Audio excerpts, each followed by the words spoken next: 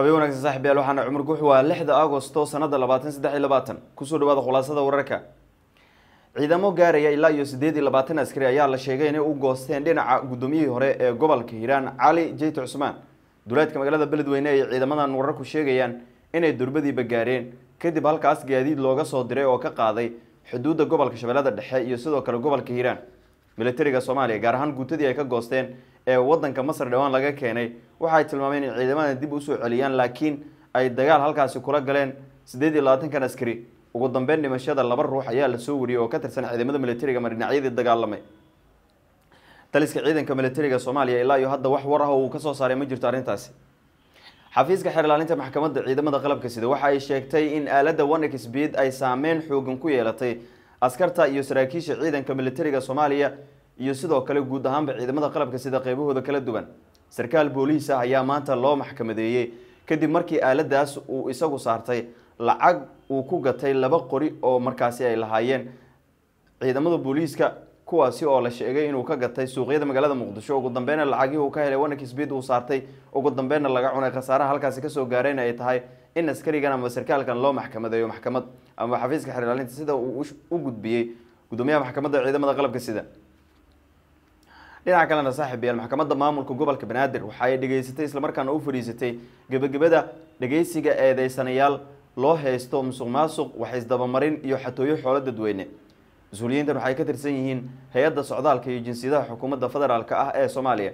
Waxaa la sheegay inay iyagu qeyb ka ahaayeen dhowr mas'uul oo la soo eedeeyey. Sidoo kalena dowladda soomaaliya ay baaritaano ku hayso. Maxkamad ayaa la soo taagay waa markoodii labaad oo dacwadoodu la qaadayo ama la dhageysanayo waxaa la filaya in maxkamadda go'aan ka soo saari doonto degmada wallaweyn duleedkeeda deegaanada ah waxaa ka socda abaabul ciidan kii ugu xooganaa oo maleeshiyaadka ama dadka halkaasi degan ay ku doonayaan inay ku bilaabaan wejiga labaad ee howlgallada ka dhanka al-shabaab. Maleeshiyaad amaba macawisle uu horkacayo daahir amiin jesow xildhibaan ka tirsan golaha shacabka ee baarlamaanka jamhuuriyadda soomaaliya ayaa ku sugan yaaq beriweyne oo ka tirsan gobolka shabeellada hoose ee deegaanada koonfur galbeed soomaaliya. Sarkaalka ama horjoogaha macawisledaas waxa uu warbaahinta u sheegay inay doonayaan in xilligan ay kow ka noqdaan dadka kaalimaha hore ka gala ama furimaha hore ka istaaga dagaalka labaad ama wejiga labaad ee dagaalada ka dhanka al-shabaab. Dhinaca kale dhinaca iyo sidoo kale gobolka hiiraan waxaa ka socda dagaal beeleed gaar ahaan deegaan lagu magacaabo eji iyo sidoo kale calaag oo ka tirsan gobollada shabeellada dhexe iyo hiiraan.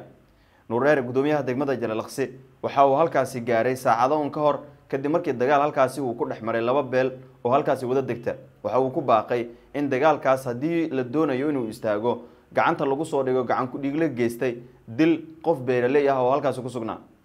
Laakiin waxaanan la ogeyn halka uu ku dambeyn doono dagaalkan maadaama ay odayaashu dhinaca kale wadaan waanwaan ku aadan sidii looga hortegi lahaa in halkaas khasaare uu ka dhasho wararka caalamka wararka ka imaanaya dhinaca iyo sidoo kale wadanka morocco waxa ay ku soo waramayeen in shil gaari oo ay ku geeriyoodeen ilaa iyo afar iyo labaatan ruux tiro. Intaasi ka badan ay ku dhaawacmeen uu ka dhacay waddo.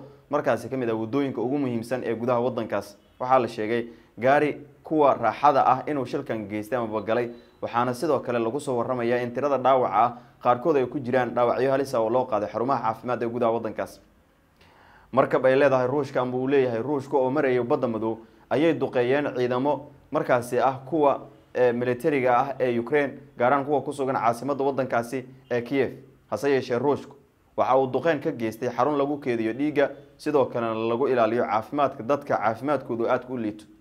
Halkaas waxaa ka dhashay khasaare kala duwan. Tiro dhimasho ah ayaa la soo warinaya oo dad rayd ah ay ku jiraan iyo kuwa militari ah laakiin tiro rasmi ah lama hayo. Niger xaaladeedu weliba ay qasan tahay.